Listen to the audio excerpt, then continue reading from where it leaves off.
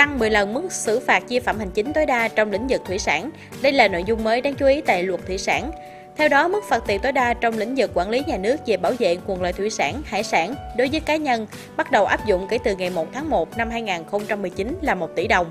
Hiện nay, mức xử phạt đối với cá nhân quy định tại điểm D khoảng 1 điều 24 Luật xử lý vi phạm hành chính năm 2012 tối đa là 100 triệu đồng. Như vậy, quy định mới đã tăng mức phạt tối đa lên gấp 10 lần. Ngoài ra, kể từ ngày luật thủy sản năm 2017 có hiệu lực thi hành kể từ ngày 1 tháng 1 năm 2019, thì các loại giấy phép, giấy chứng nhận, giấy xác nhận, chứng chỉ, văn bản chấp thuận trong lĩnh vực thủy sản đã được cấp trước ngày 1 tháng 1 năm 2019 thì được sử dụng cho đến khi hết thời hạn. Các quy chuẩn kỹ thuật quốc gia, định mức kinh tế, kỹ thuật đã được ban hành trước ngày 1 tháng 1 năm 2019 thì tiếp tục được áp dụng cho đến khi bãi bỏ hoặc thay thế.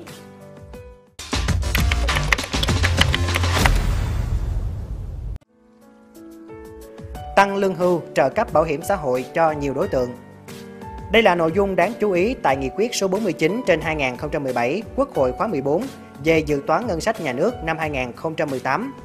theo đó, cùng với việc điều chỉnh tăng lương cơ sở từ 1 triệu 300 ngàn đồng một tháng lên 1 triệu 390 ngàn đồng một tháng, thì Quốc hội cũng giao chính phủ thực hiện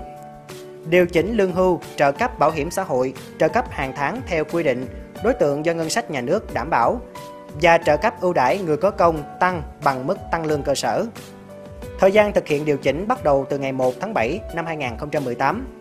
Ngoài ra, Nghị quyết số 49 cũng yêu cầu chính phủ chỉ đạo thực hiện tốt các luật về thuế, phí và lệ phí, nghiên cứu sửa đổi một số chính sách pháp luật về thuế trong thời gian tới.